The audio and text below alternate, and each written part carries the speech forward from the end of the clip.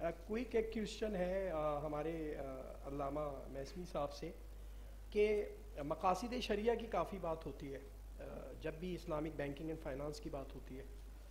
तो हज़रत आप क्या समझते हैं कि इस्लामिक बैंकिंग के जितने इदारे हैं या फाइनेंशियल इंस्टीट्यूशंस हैं ये इस पर कितना अमल पैरा है और इस पर क्या करने की मज़ीद ज़रूरत है? बसमीम बड़ा अच्छा सवाल कर लिया। वैसे तो मैंने अपनी गुफ्तु कर लिए मैं बताऊँ, इस्लामिक बैंकिंग में लोग जॉब कर रहे हैं, अकीदे से काम नहीं कर रहे हैं। मैं आप सबको आज एक चैलेंज देता हूँ, बुरा मत मानिएगा। आप अननोन शख्सियत की हैसियत से किसी इस्लामिक बैंकिंग ब्रांच पे चले जाइए।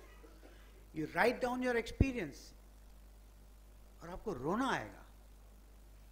ये बैठा इस्लामिक बैंकिंग में और इसका तरीक़ेकार जो and go to conventional banking बुरा मत मानिएगा। मैं कोई कन्वेंशनल बैंकिंग का सपोर्टर नहीं हूँ।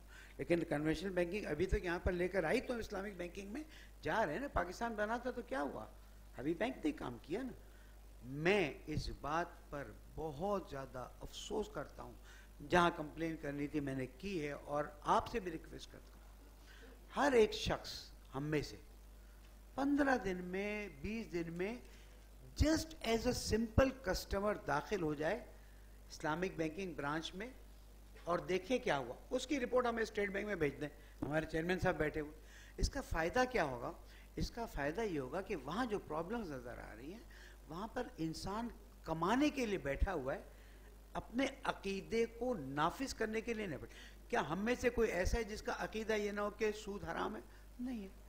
तो मैं कमाने के साथ साथ जब अपने अकीदे को नाफिज कर सक रहा हूँ तो इसको इबादत समझूँगा। लेकिन महसूस ही हो रहा है। आई थिंक मेरा ख्याल, मेरी बात क्लियर हो गई। महसूस ही हो रहा है कि लोगों को हायर किया जाता है उनकी इस्लामिक थिंकिंग के साथ डेवलपमेंट नहीं होती है। इसलिए वो कहते हैं कन्वेंशनल है और क्योंकि बैंकर से मेरा फैमिली रिलेशन भी बहुत ज़्यादा है। मैं बताना, ज़ाहिर नहीं चाहता।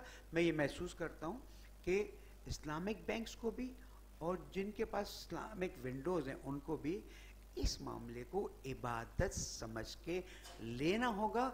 इबादत के तौर पर जाएँगे तो बरकत होगी। शुक्रिया।